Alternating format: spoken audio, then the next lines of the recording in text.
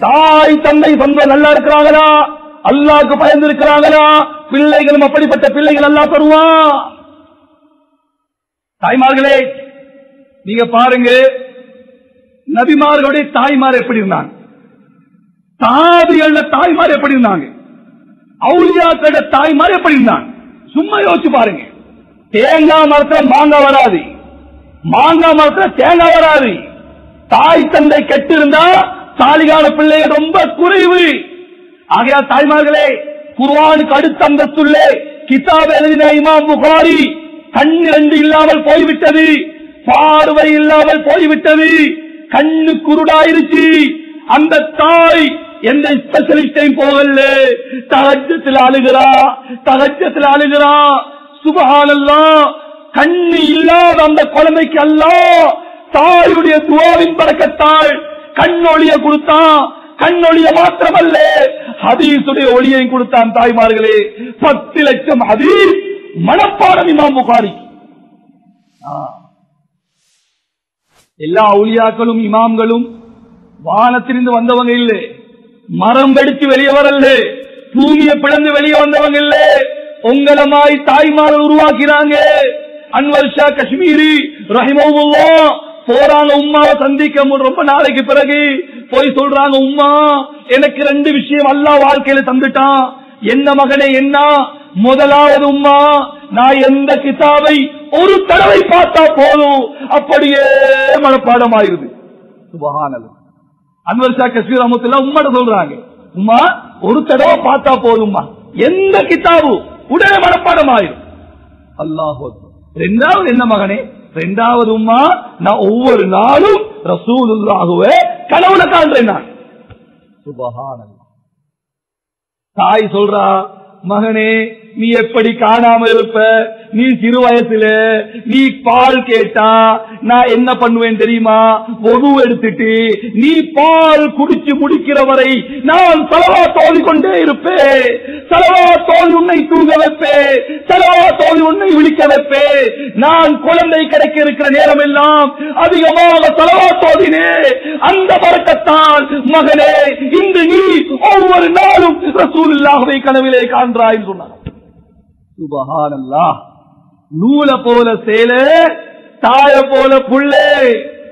மேலான தாய்மார்களே சகோதரிகளே அன்வர் ஷா யாரு?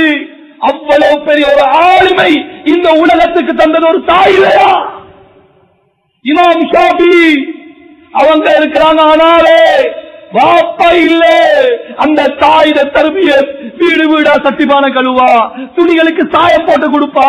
பிள்ளை அனுப்பினா அக்பர். எவ்வளவு பெரிய இமாமாக இந்த உலகத்துல மாறினாங்க தாய்மார்களே. ஏன் உங்களுக்கு ஒரு இமாம் ஷாபி இப்ப தரையலாரா?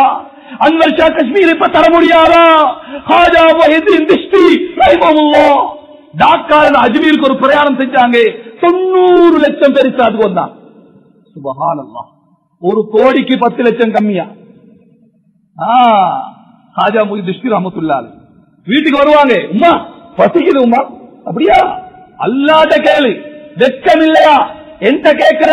ஒவ்வொரு ரெண்டகா தொழு. ஒவ்வொரு ரெண்டகா தொழுவாங்க. உடனே ரொட்டியை சுட்டு ஒழிச்சு வச்சிருவாங்க. உமா நான் அல்லாட்ட கேட்டேம்மா போய் பாரு. அல்லா எங்கேயாவது வச்சிருப்பான். அல்மால ரொட்டி. அல்லா தந்துட்டா அல்லா தந்துட்டா. சுபஹானல்லா. அந்த தாயில தர்பியத்தை பாத்தீங்களா தாய் கொடுத்த பயிற்சியை பாத்தீங்களா ஒவ்வொரு நாள் இப்படிதான். பள்ளிக்கூடம் போயிட்டு வந்தா ரெண்டு காத்தோடு யாழ்லா பசிக்குது யாழ்லா உடனே தாய் சாப்பாடு ஏற்பாடு செஞ்சிருவா. அல்லாஹ் கொடுத்த ஈமான் வளருது. ஒரு நாள் வெளியில போயிட்டு வந்தாங்க. ரொட்டியை சுட்டு வைக்கல. ஓடோடி வராங்க ஆஹா இன்னைக்கு புள்ள வருவா. பாப்பா உம்மா இல்ல. சாப்பாடு தவிர அல்லா இல்லையா? ரெண்ட கால தொழுது கேப்பா அல்லாட்டே. பிறகு போய் பாப்பா ரொட்டி இருக்காதே. இவ்வளவு நாள் நாள் பட்ட கஷ்டம் வீணா போயிருமே. நான் கொடுத்த பயிற்சி வீணா போயிருமே.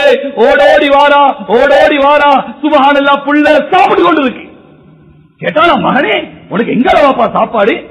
அன்வ யாரு காஜா ஸ்ரீராமத்துல சொன்னாங்க உம்மா? என்னம்மா நீங்க இப்படி கேக்குறீங்க?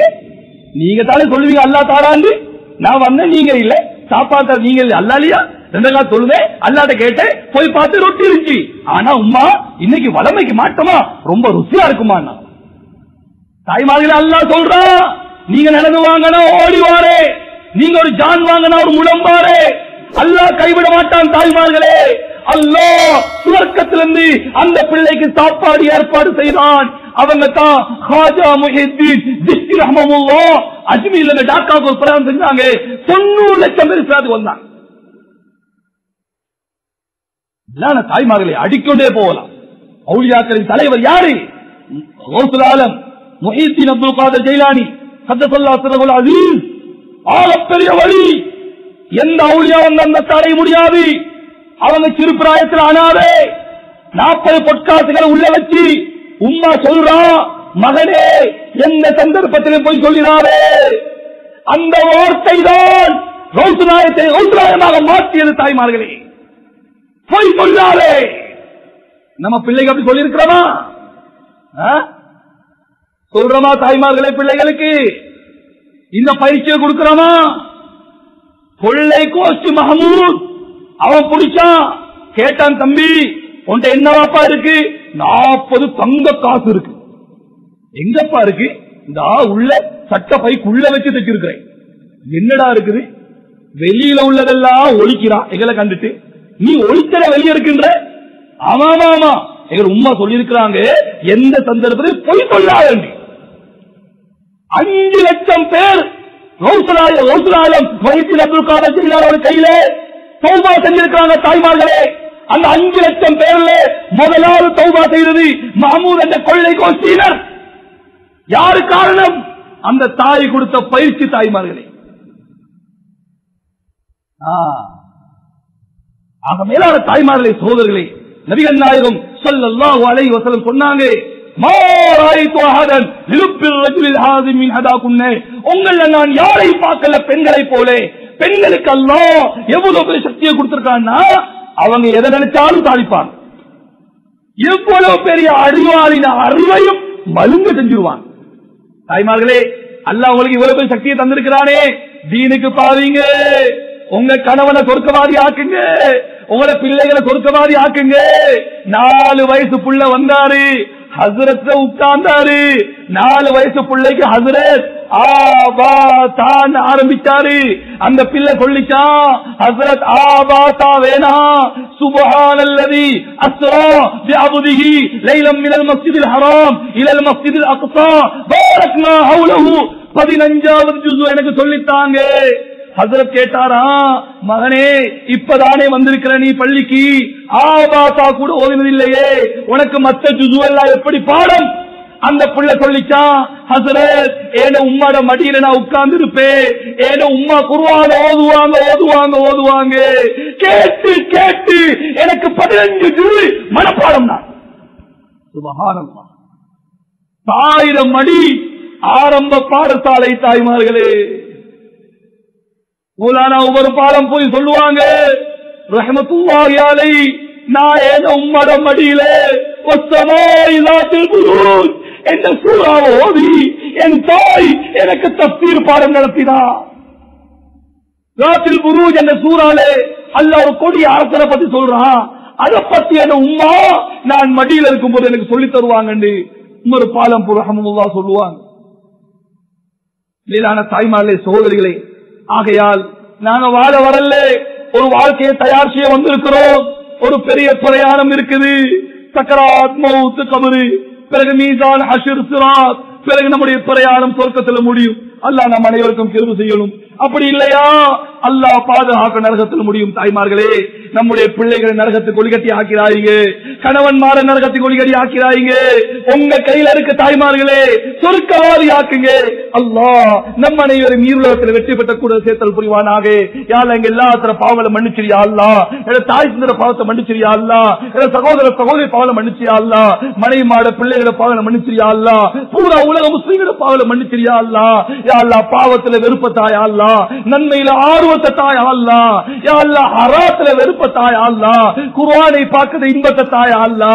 நாங்க எல்லாம் சொர்க்கவாதியாக்க நசீபத்தாயா அல்லா.